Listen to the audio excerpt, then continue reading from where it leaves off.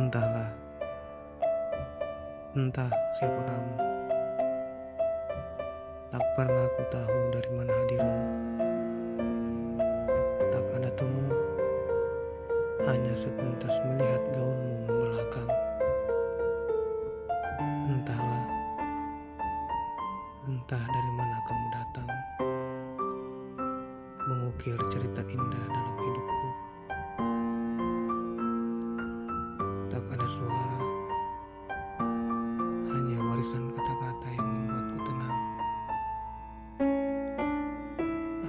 masih sangat ingat kata-kata itu.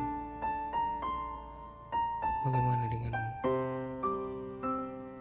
Ketika Bilal memandangkan panggilan ilahi dan malam yang masih ada pada penantian menyapa fajar, ucapkan kata dalam tulisan. Selamat menunaikan ibadah sholat subuh. Kutorehkan kata ini pada dinding-dinding